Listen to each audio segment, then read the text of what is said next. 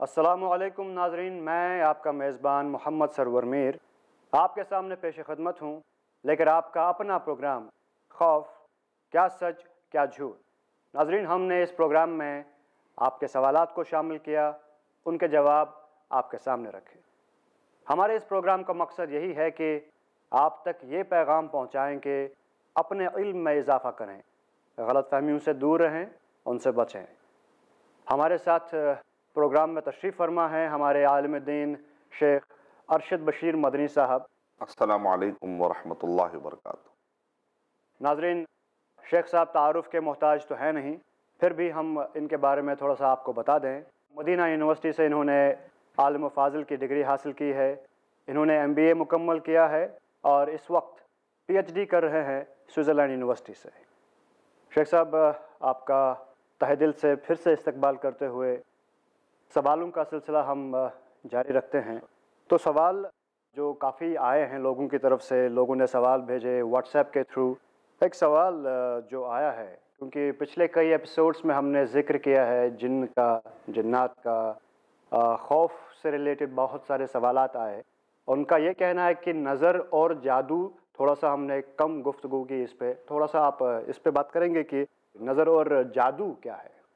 नज़र और जादू इससे पहले हमने जिन पर काफ़ी तफसील से बात की है तीनों में क्या फ़र्क है? जो भी जादूगर होता है वो जिनकी मदद लिए बगैर कामयाब नहीं हो सकता। जी। और जादू के वो असरात डालने की कोशिश करता है। जादूगर क्या करता है? जिसके ऊपर जादू करना होता है उसका पसीना जाकर जो कपड़े को लगता है वो कपड़े के धागे और उस इंसान के जो बाल होते हैं वो किसी तरीके से इंसान के जिसम का कोई ना कोई हिस्सा उठाकर या उससे चिमटा हुआ कोई हिस्सा उठाकर ले जाकर और ख़ास तौर से ख़वातीन जो पीरियड में होती है, वो अपने पीरियड के जो खून के जो कपड़े होते हैं, वो कहीं भी फेंक देती। तो ख़ास तौर से हमको बताया गया कि कोई भी काम करते हैं तो बिस्मिल्लाह से शुरू करें।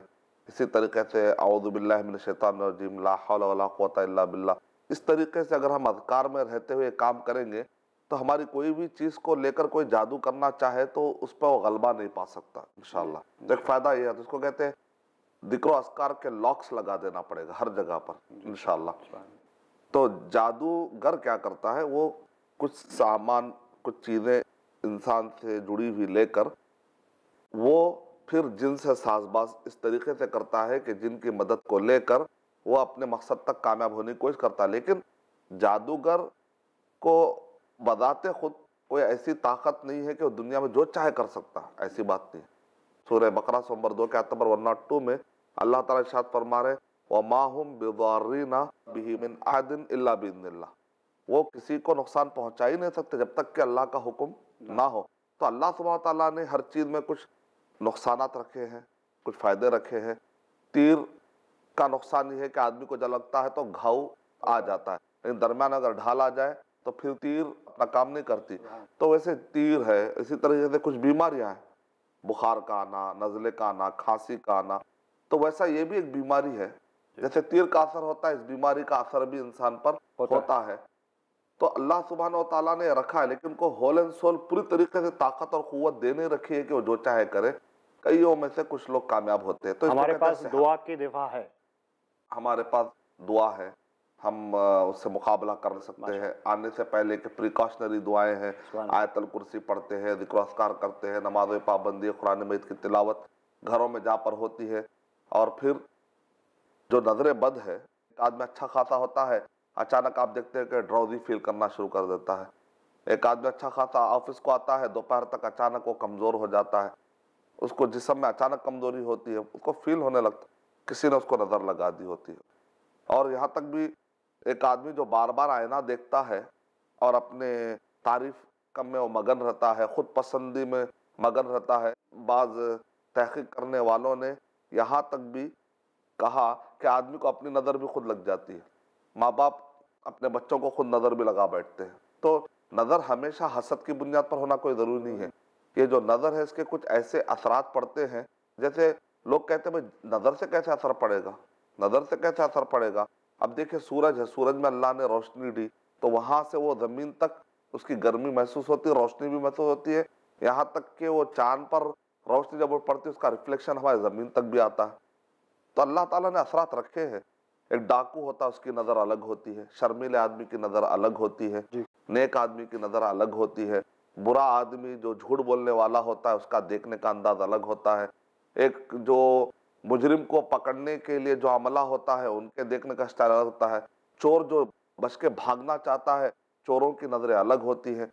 यानी इंसान की नज़रों से पता चल जाता है कि ये आदमी किस किस्म का है। किस्म का है।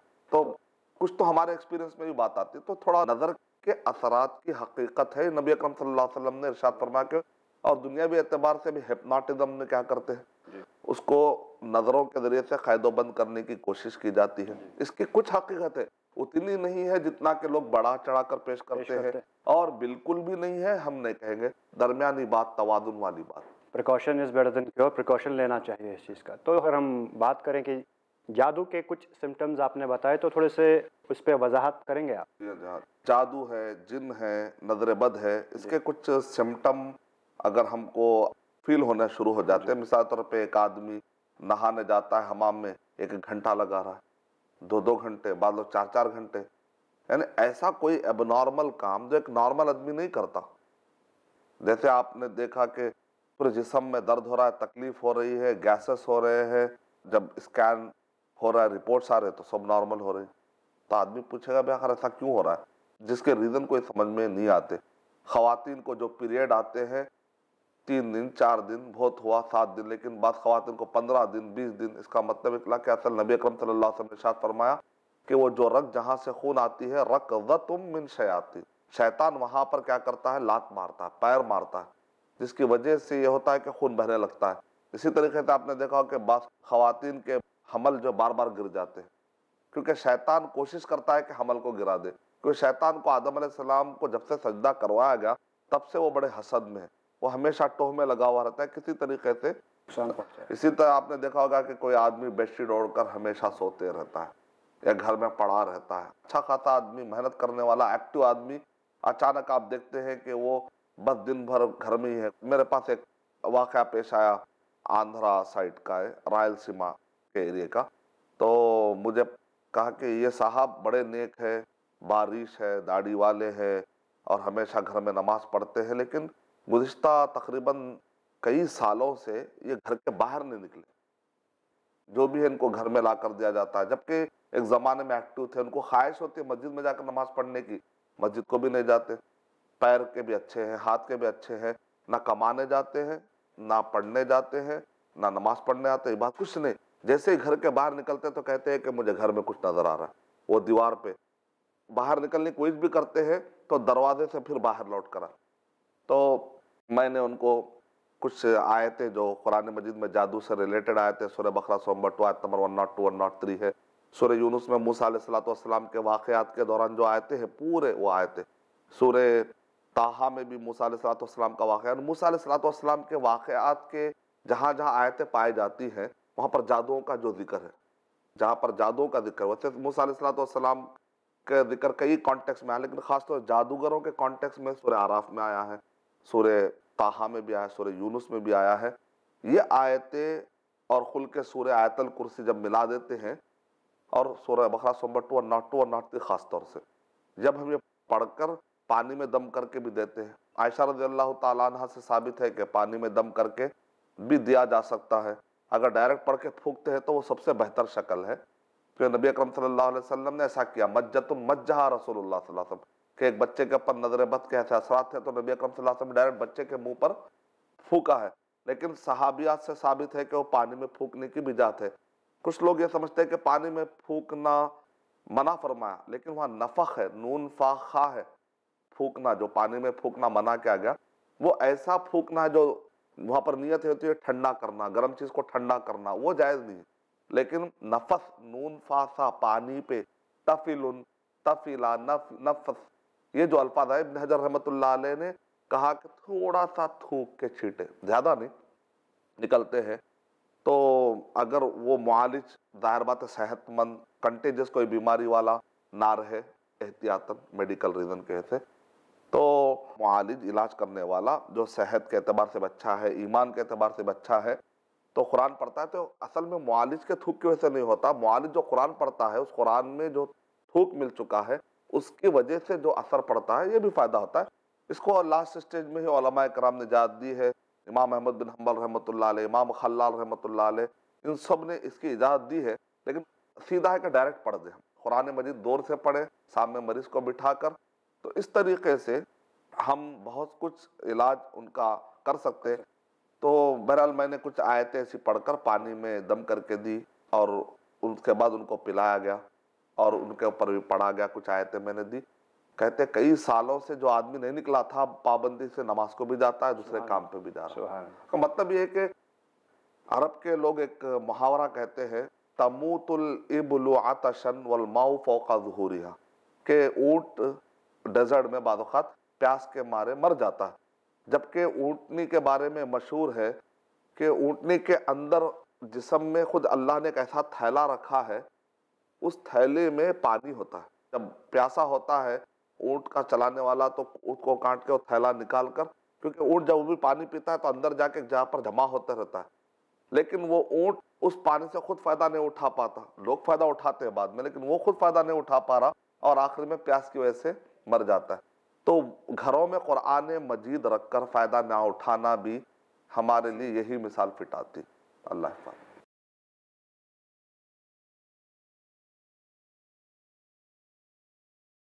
सुबह शेख साहब। हमें यकीन है कि हमारे नाजरन को इससे बहुत फ़ायदा होगा। आपने फरमाया कि आयतल कुर्सी पढ़ें और कुल के दो सूरे, सूर कुलआज़ब्रबलफ़लक और कुलआज़ब्रबनास ये भी सबको याद होंगे। और शेख साहब, आप कुछ और सिम्टम्स के बारे में बता सकते हैं क्या? जी जी। हाँ एक आदमी को जो है कंटिन्यूसली सर में दर्द होता है कहीं एक जगह पर, ये भी एक तरीक़ा होता है। और बहुत सारे लोग ये समझते हैं कि सिर्फ़ जिस्मानी है। नहीं इसका हमेशा एक रूहानी भी इलाज मुमकिन है। तो इसको चाहिए कि स्पिरिचुअल हीलिंग जो सिस्टम होता है इसको हरगिज नज़रअंदाज ना करें। लेकिन प्रिकॉशनरी मेथड्स है मेडिकल लेवल पर जो इलाज है वो भी कराते रहे। इस्लाम में रोका नहीं गया दवा भी ले सकते हैं आप दुआ भी ले सकते हैं। दुआ और दवा का सिस्टम चलता रहेगा।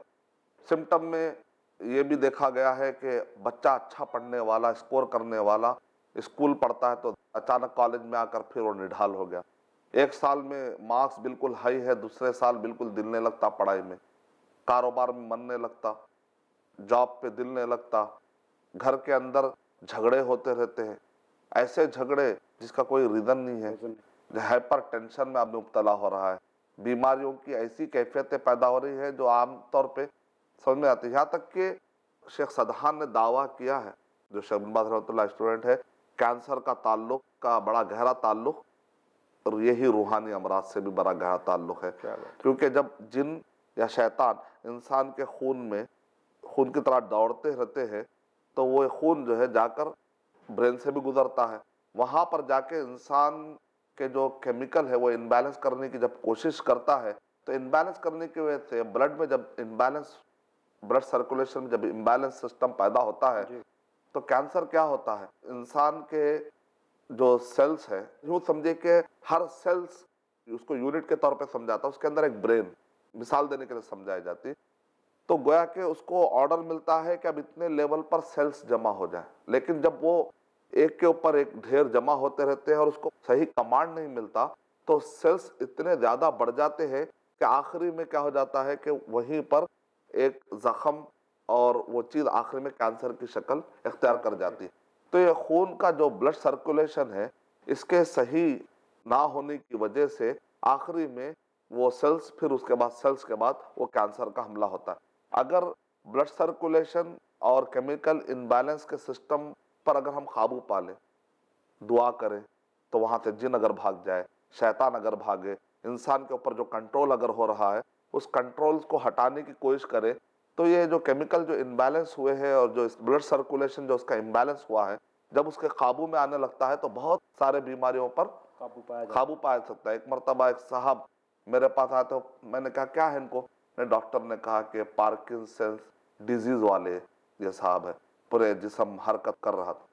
तो जब जिसम हरकत करता है तो हम वहाँ पर दुआ ऐसे पढ़ते हैं कि ज़मीन और आसमान हिल रहे थे। अल्लाह ने पहाड़ों को पैदा किया ताकि ज़मीन जो हिलने वाली ज़मीन उसको एक बैलेंस वो आयतें मैंने ढूंढ ढूंढ कर मैंने पढ़ी तो अचानक देखते हैं कि उनका हाथ रुक गया। बेटे ने ताज्जुब से कहा, वालिद साहब कब से हाथ हिला रहे थे? अचानक हाथ कैसे रुक गया? मैंने कहा, ये कुरान मजीद में पहाड़ों से रिलेटेड जो आयतें हैं, वो आयतें आप पढ़ पढ़ कर वालिद साहब पर भुगत एक मरतबा का वाक़ ये है कि मैं गया हैदराबाद में, अपोलो हॉस्पिटल में तो डॉक्टर ने कह दिया कि इनके पैर में इतनी सूजन है, अब ये फालिज का शिकार हो चुके हैं, ये नहीं चल सकते। तो मैंने उनको तसल्ली दी इन आप हज भी करेंगे इन आप मायूस ना हो। तो वो बड़े अल्लाह वाले थे, मेरे दर्स अटेंड करते थे। जैसे उन्होंने मुझे देखा तो रो पड़े कि मैं आपका दर्द सुनता था, मैं दर्द सुनने भी नहीं आ पा रहा हूँ शेख आजकल। और मैं बूढ़ा हो चुका हूँ तो मुझे यकीन हो गया कि यकीन अब ये फालिज होगा जो वापस मुझे चलने नहीं देगा। लेकिन आज की तारीख ये वाक़ होकर तकरीबन चार पाँच साल होने आ रहे हैं। आज भी वो चल रहे हैं इंटरनेशनल सफ़र भी कर रहे हैं और माशाल्लाह उम्र ये सारी सादतें भी उनको नसीब हो गई। और जब भी होते मुझे फ़ोन कर कर कहते हैं कि आपने जो बात कही थी मैं गैब जानने वाला नहीं हूँ लेकिन इंसान को यकीन दिला सकते हैं हम कि कुरान मजीद पे हमको भरोसा है। तो मैंने वहाँ पर कौन सी आयतें पढ़ी है? जब पैर रुक गया है तो अब हिलाने वाली आयतें पढ़ना पड़ेगा। जब बहुत ज़्यादा हरकत हो रही है तो मैंने रुकाने वाली आयतें पढ़ी। जब बहुत ज़्यादा पैर रुक चुका है तो मैंने कौन से आयतें पढ़ी? इब्ने तैमा रहमत कहते हैं कि ज़मीन का वर्ड जहाँ पर आया है इंसान का जिसम तस्वुर करो। आसमान का जो वर्ड आया है इंसान का सर तस्वुर करो। और उसको उन आयतों से जोड़कर मिलाने की कोशिश करो तो तुमको उसमें से शिफा मिलेगी। मिसाल के तौर पे एक मरतबा इबन तैमा रहमत के पास एक खातून आई उसने कहा कि मुझे पीरियड का खून आता रहता है, आता रहता है, रुक ही नहीं रहा है। तो इबन तैमा रहमत ने कहा सूर्य हुद नंबर ग्यारह के अक्टूबर फोर्टी फोर वकीला, या अरदुबलाई माँ अकी वया समाऊ अकले, ए ज़मीन तू पानी निगल ले, ए आसमान जो तू बरसा रहा है, अब बरसना तेरा रोक ले। ये नूसलाम के कश्ती के वक्त पर जो हालात थे, बारिश खूब हो रही थी। ज़मीन में तूफ़ान के थे, पानी खूब था। तो अल्लाह ताला ने जो कलिमात कहे हैं वो कलिमात उन्होंने पढ़ने के लिए कहे। जैसे ही वो खातून पढ़ने लगी तो जो पीरियड का खून जो खूब आ रहा था अचानक रुक गया। लोगों ने पूछा कि इब्ने तैमा रहमत आपने जो हल बताया है ये आपने क्या लॉजिक पर बताया? क्या कुरान मजिद शिफा है? सूर्य बनिस्ता सत्रह के आत्म एटी टू में कुरान मजिद शिफा है। तो उसमें आसमान और ज़मीन को मैंने तजबी दी औरत के जिसम और उसके रहम मादर में उसको मैंने आसमान की तरह ताबीर करके उस नीयत से मैंने पढ़ा तो फ़ायदा हुआ। तो ये कुछ सिम्टम्स है जिसको हम आसान तरीके से कुरान मजीद से भी हल कर सकते हैं। सुबह अल्लाह शेख साहब, हमारा एक सिलसिला है सवाल जवाब का, जो ऑडियंस जो नाजरीन सवाल भेजते हैं व्हाट्सएप के थ्रू नाजरीन, आपके स्क्रीन पर इस वक्त नंबर आ रहा है। आप उस पर मैसेजेस भेज सकते हैं, अपने सवाल भेज सकते हैं और ईमेल आईडी पर अपने सवाल भेज सकते हैं। हमारे पास कुछ सवाल यहाँ पर हैं मैं इजाज़त चाहूँगा। अल्लाम शेख मेरा नाम आसिफ मैं बम्बई से बोल रहा हूँ शेख।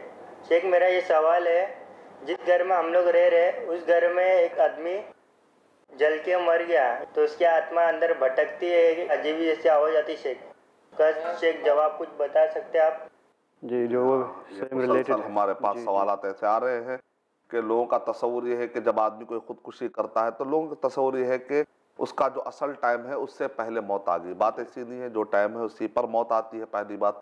दूसरा है कि उसके लिए, मरने वाले के लिए रीज़न चाहिए। यहाँ पर ये रीज़न बना। तीसरा ये है कि जो भी खुदकुशी करता है तो उसका जो हर इंसान के साथ एक अच्छा करीन और एक बुरा करीन। यानी फरिश्ता और शैतान लगा हुआ तो लोग समझते हैं कि वक्त से पहले मौत आने से वो जो करीन है, भटकता रहता है। जबकि ऐसी बात नहीं है। और इंसान के अंदर जो रूह है, वो चूँकि असली टाइम पर अभी नहीं पहुँची है, वो टाइम आने तक वो रूह दुनिया में भटकते रहती है। ऐसी बात नहीं है। सूर्य मोमिन नंबर ट्वेंटी थ्री के आयत नंबर हंड्रेड में अल्लाह ताला शाद फरमा रहे वमिम बरजखुन इलाबासुन और मरने के बाद रूहें बरदख में चले जाती हैं और वहीं पर क़यामत तक रहती हैं। तो इससे क्या पता चला कि मसला असल में ये नहीं, अब जो आवाज़ें आ रही हैं वो क्या है? जो जिन होते हैं, वो इन चीज़ों को बहाना बनाते हैं क्योंकि लोग जिससे डरते हैं जिन उसको हमेशा नज़र में रखते हैं। तो चूँकि लोग जैसे मर्डर होता है तो लोगों के तस्वुर में है कि ऐसा ऐसा रूहों का भटकने का। तो उसको कैपिटलाइज करते हैं उसको यूटिलाइज करते हैं। तो इसको समझने की ज़रूरत है ये जिनों के शरारतों में से एक शरारत है। और उसको दूर करने का तरीका है सूर्य बकरा अगर पढ़ ले वहाँ पर जो भी हमने रुखया शरिया बताया कुल के सूर्य पढ़ने से ये सब चीज़ों से नजात मिल सकती है। सूर्य साफात पढ़ने से सूर्य जिन पढ़ने से। बिल्कुल क्योंकि वो हमें देख पाते हैं, हम उन्हें नहीं देख पाते, उन्हें हमारे कल्चर और सोच के बारे में मालूम है, हमें नहीं पता। एक और सवाल लेते हैं। अस्सलाम रहमतुल्लाह। मेरा नाम यूनुस है। मैं बांद्रा से रहने वाला हूँ। मेरी नानी बताती है क्या, जो हम लोग जहाँ रहते हैं उसके पड़ोस में एक घर है। उसमें जाना मना है मतलब वहाँ से आवाज़ें आती है। एक बहुत साल पहले एक बच्चा उसके अंदर गया था। अभी तक वो लौटा नहीं। उसकी रोने की आवाज़ आती है, क्या ऐसा होता है, शेख? मुझे आप इसका जवाब दीजिए जी। जिन बड़े माहिर होते हैं आप या हमारे अब्बा या गुजरे हुए लोग जो आवाज़ निकालते हैं वो एग्जैक्ट निकाल भी सकते हैं और उस तरीके से हरकत भी कर सकते हैं। बल्कि क़यामत के करीब तो ऐसा होगा कि इंसान का पूरा रूप धार कर आकर वो बताएँगे और लोग तस्दीक करेंगे और फितने पड़ जाएँगे। जैसा कि जंग बदर के मौके पर शैतान एक बुज़ुर्ग की शक्ल में कुफार खुरैश बुज़ुर्गों की बड़ी इज़्ज़त करते थे तो उसी शक्ल में आकर उसने भटका दिया। तो क़्यामत के करीब ऐसे बहुत सारे वाक़ात होंगे कि आकर फितना डाल कर जाए इसलिए आपने सुना होगा दज्जाल जब आएगा वो पूछेगा तुमको तुम्हारे अम्मी अब्बा से मिलना है क्या? तो बच्चा कहेगा मैं तुझे नहीं मानूँगा। ठीक है अगर मैं तुम्हारे अम्मी अब्बा को ज़िंदा करके बता दिया तो कहाँ बताओ सही? तो फ़ौरन जो है अम्मी अब्बा को वो लाकर खड़ा करेगा। तो पॉसिबिलिटी के अल्लाह ने कुछ ताकत दी, एक माना ये है। दूसरा कि जिनों की दुनिया को अगर हम जानते हैं तो ये भी पॉसिबिलिटी है कि उस वक्त पर जिन माँ का रूप धारना, वो बाप का रूप धार कर बता सकते और धोखा दे सकते हैं। ये भी एक पॉसिबिलिटी है।